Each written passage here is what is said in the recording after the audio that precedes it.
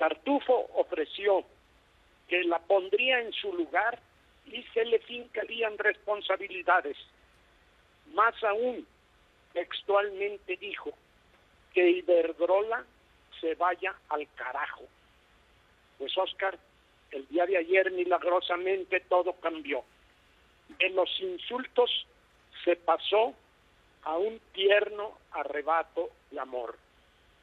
En primer lugar, Iberdrola no se irá al carajo, seguirá operando en México en Santa Paz.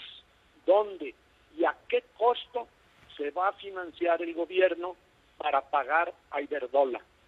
Pero decir que la compra de parte de los activos de la empresa española equivale a una nacionalización de la industria eléctrica es simplemente un comentario idiota.